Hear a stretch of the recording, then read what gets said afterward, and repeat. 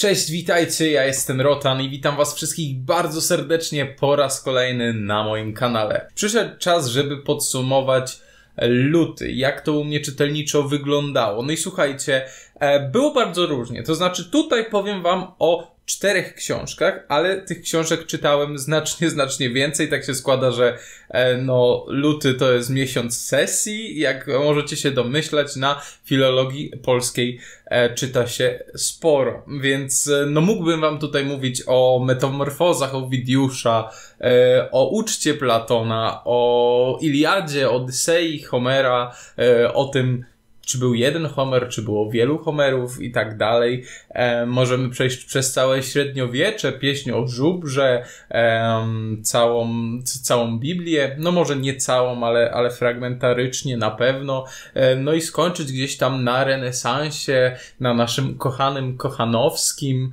E, i Orszulce, prawda, e, która już z grobu nie wstanie. Ale tego nie zrobimy, bo no jakby od tego macie Polski w szkołach, od tego jeśli byliście, byście byli zainteresowani są właśnie studia. E, może kiedyś zrobimy sobie taki zupełnie osobny odcinek. E, natomiast tutaj będziemy gadać o książkach, które czytałem raczej dla przyjemności, co nie znaczy, że te, które czytałem E, na, na właśnie historię literatury ciekawe nie były, bo były, jak najbardziej. Natomiast tutaj po prostu skupiamy się na troszkę innych e, rzeczach. No i pierwszą książką, o której powiem i, i pierwszą, którą tak naprawdę rozpocząłem e, luty było Zabójstwo Rogera Akeroida, czyli e, twór pani Agaty Christie, królowej kryminału, e, przez wielu za taką przynajmniej uznawano. E, I, I no cóż, muszę powiedzieć, że mi się niezwykle spodobała ta przynajmniej e, historia, bo ja faktycznie mnie ciągnie do tego Poirota, e, Poirot, przepraszam, e, i, i jakoś tak, e, no nie wiem, lubię ten typ gdzie mamy detektywa, który rozwiązuje zagadkę. To jest coś, co, co mi siada. Jak nie lubię tych wszystkich kryminałów, ja się powtarzam, ja wiem, ale nie lubię tych wszystkich psychologicznych, gdzie jest to wszystko tak pięknie nabudowane. Te postacie są niezwykle głębokie, mają historię swoją, mają te przeżycia, cierpiały w dzieciństwie, tam okropności się działy, spotykają po latach swoich ojców, ci ojcowie y, ich tam podrywają bywają, jakieś takie chore rzeczy się dzieją. Ja nie mam na to głowy. Nie, że mi się to nie podoba, ale to jest domena filmów u mnie. W sensie to załatwiają mi filmy, jak chcę coś takiego, to właśnie oglądam albo jakiś serial, albo film.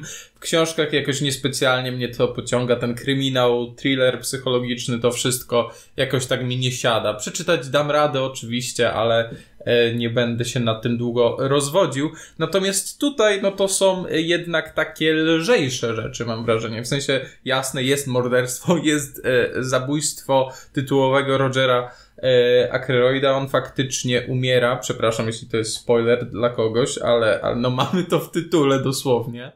E, I, e, I no jest zagadka, którą trzeba rozwiązać w takim bardzo e, prostym w taki bardzo prosty sposób, nie? Że, że musimy znaleźć poszlaki, musimy przesłuchać świadków i na tej podstawie dedukując, zauważając rzeczy, których przeciętny człowiek nie zauważa, jesteśmy w stanie dojść do tego, co się wydarzyło. E, zresztą wokół tej książki jest też wiele takich historii związanych konkretnie z tym tytułem, bo, bo Christie tutaj łamie pewne takie zasady, które w ten czas uważano za E, za no, czyniące literaturę dobrą, tak naprawdę. Kryminał, co czyni kryminał dobrym, e, ano to, e, czego ona tutaj się nie trzymała w zasadzie. Zmieniła to i, i myślę, że to jest o tyle ciekawa właśnie książka, że spodziewać się tego można. Już od połowy, powiedzmy, książki miałem swoje podejrzenie, kto tym zabójcą jest.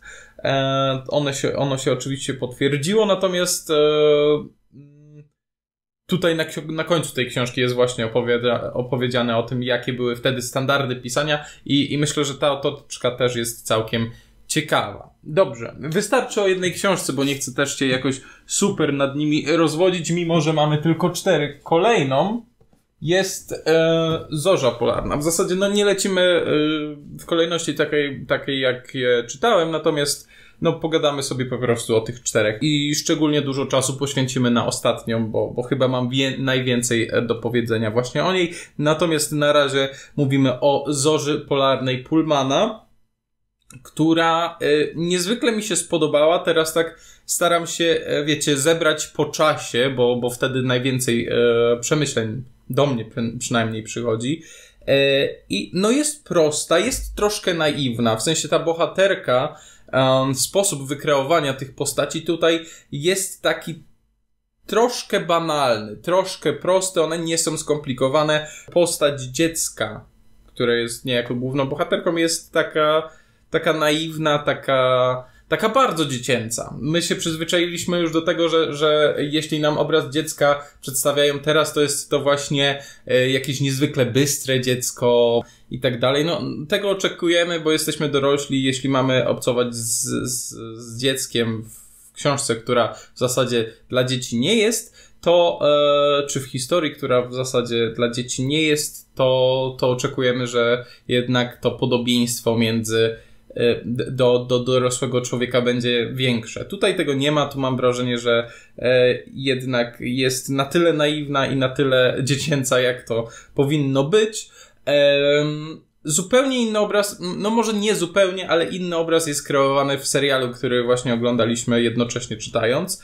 I tam jest już inaczej. Tam już e, mam wrażenie, ta Lyra, główna bohaterka, e, zachowuje się dojrzalej, um, zachowuje się tak e, poważniej. To nie jest to samo dziecko. Um, myślę, że, że tam no też ta dramaturgia jest podkręcana w tym serialu, jasne, bo to się serial rządzi innymi prawami, natomiast e, tutaj przy Zorzy Polarnej, przynajmniej w przypadku pierwszego tomu, no mi się po prostu podobało. Mi się po prostu podobało. Nie jest to jakaś super literatura. Nie jestem mega zachwycony, nie jestem e, oczarowany tą książką e, do głębi, przynajmniej już nie teraz. Może bezpośrednio po lekturze byłem, teraz już troszkę mi zeszło. E, zobaczymy, jak będzie dalej. Zobaczymy, jak będzie dalej. Na razie wypowiadam się tylko na temat pierwszego tomu. E, czy to pociągną, w którą stronę to pójdzie, zobaczymy. Następnie mamy Szklanego Maga który tak, e, no niestety starał się, nie wygląda e, najatrakcyjniej, natomiast e, jest też bardzo przyjemną i bardzo prostą książeczką. To czytałem właśnie tak na rozluźnienie jako początek 24-godzinnego maratonu, który gdzieś tam w lutym właśnie organizowałem. No i muszę powiedzieć, że no, to jest książka, która mi pokazuje, jak nie pisać czasami właśnie, bo ma te momenty takie jak system magiczny, które są dobrze skonstruowane, e, ale ma całą resztę, która już gdzieś tam kuleje, że widać, że e, ten warsztat jest jakiś, że on jest spójny e, i tak dalej, natomiast no widać, że on jeszcze nie jest taki wykształcony porządnie, że to jest niższy poziom, że tutaj e, kreowanie postaci jeszcze leży, że emocje i ich okazywanie też jest zbyt bezpośrednie, mam wrażenie, um, że no jeśli to ma być młodzieżówka taka typowa, no to jasne, spełnia te założenia. Ja też no jestem coraz starszy, więc y, oczekuję też od książek coraz to innych rzeczy i zwracam bardziej uwagę na takie takie zabiegi, że, że postacie są coraz bardziej y, dwuwymiarowe um, i, i, i, ich teksty są coraz banalniejsze dla mnie. Um, ale, ale mimo wszystko, no tutaj mam wrażenie, że to mogłaby być znacznie lepsza książka i znacznie lepsza seria, bo papierowy mag podobne odczucia miałem po prostu w stosunku do niego. Yy, gdyby jednak troszkę bardziej nad tymi postaciami popracować, żeby zbudować im ciekawszą historię yy, i żeby one jakby pod tym psychologicznym względem gdzieś tam też były rozbudowane. Tego tutaj nie ma. No i w ten sposób przechodzimy do książki ostatniej w tym, yy, w tym podsumowaniu, czyli ksiąg zapomnianych żyć, o których ja mam pozytywną opinię i dałbym im pięć gwiazdek, gdyby nie pewne aspekty. Bo to jest naprawdę świetna książka, em, którą ja czytałem niemożliwie długo. To znaczy, E, pierwszą część czytałem niemożliwie długo, z przerwami, e, właśnie czytam na, na egzaminy czy tak dalej. W pierwszą część kompletnie nie umiałem się wciągnąć. Tutaj powiem tylko, że książka jest podzielona na trzy części. Mm, I tutaj dla kon kontrastu, żeby pokazać jak nieregularna jest ta książka, e, dwie pozostałe przeczytałem w ciągu doby tak naprawdę. E, jak tylko zacząłem, tak, tak do końca w zasadzie ciągnąłem i, e, i naprawdę no po prostu to był kawał, kawał dob dobrej literatury, dobrej historii. Nie mówię, że ta pierwsza część jest zła. Nie, po prostu ona mnie nie wciągnęła. I dlatego daję jej takie 4, 4,5 gwiazdki na 5, czy tam, no powiedzmy 8 na 8, 9 na 10 e, punktów w jakimś tam rankingu, jeśli chcemy to oceniać w ten sposób. Ja też jakby stronie raczej od takich ocen punktowych. E, ale to w zasadzie tylko dlatego, że nie potrafiłem się wciągnąć w tą pierwszą część. Te kolejne mi wyjaśniły, dlaczego nie mogłem się wciągnąć, że ona, ta pierwsza część jest taka bardzo oniryczna, senna, e, ciężka, powolna i rozumiem dlaczego.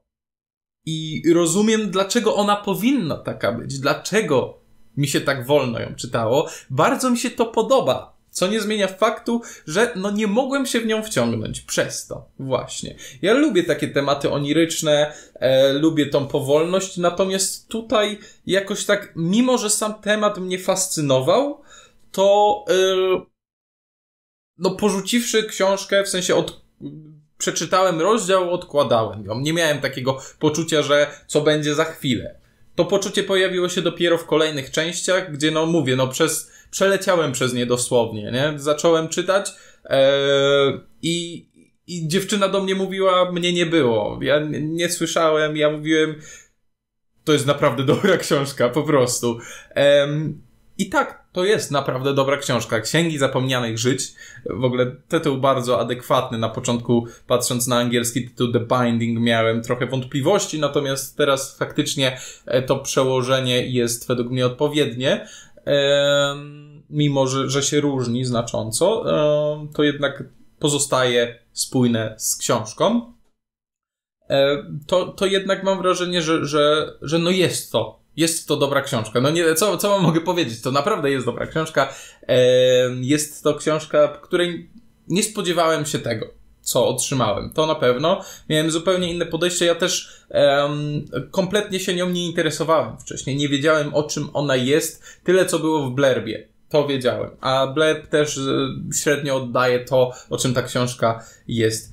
Um, tak, tak, takiej esencji na, na pewno nie oddaje. Um, a zresztą mam wrażenie, że gdyby oddawała, to trochę by to psuło przyjemność z lektury, więc też się cieszę, że, że miałem tak małą wiedzę. Wiedziałem, że się ludziom podoba, e, ale to w zasadzie było wszystko, e, dzięki czemu no mogłem być zaskakiwany, nie czułem takiej presji, że o, przeczytaj tą pierwszą część, bo dwie kolejne są na pewno świetne i na pewno ci się spodobają. Nie, doszedłem do tego sam i to jest coś, co, co ja lubię właśnie. Ja oglądam filmy związane z jakimiś książkami dopiero właśnie po ich przeczytaniu. To nie jest tak, że ja szukam tych poleceń, ja wolę sam sobie gdzieś tam wybrać książkę e, i potem skonfrontować się gdzieś z zdaniem innych. I muszę sprawdzić, bo w zasadzie tego nie robiłem w przypadku ksiąg zapomnianych żyć, e, a wydaje mi się, że te opinie mogą, e, mogą być ciekawe po prostu. Mogą być zróżnicowane dosyć i E, I to mnie również, e, również gdzieś tam interesuje, to na pewno sprawdzę. Jeśli nie czytaliście Ksiąg Zapomnianych Żyć, to serdecznie polecam, bo to naprawdę jest dobra książka, chyba najlepsza, którą przeczytałem w tym miesiącu. Oczywiście poza Homerem, poza Owidiuszem i tak dalej. Nie no, trochę żartuję w tym momencie, to są zupełnie inne rzeczy, nie wolno, no nie powinno się ich porównywać, natomiast tutaj no tę książkę, jak i wiele innych na pewno przeczytać warto. Dziękuję Wam tym samym za uwagę. E, taki spokojniejszy odcinek, ale też dlatego właśnie pojawia się o tej godzinie później, później niż zwykle, bo, bo też miałem ochotę na coś takiego spokojniejszego, żeby sobie bardziej właśnie pogadać. Także to by było na tyle. Dziękuję Wam za uwagę. No i do zobaczenia w kolejnych materiałach. Cześć.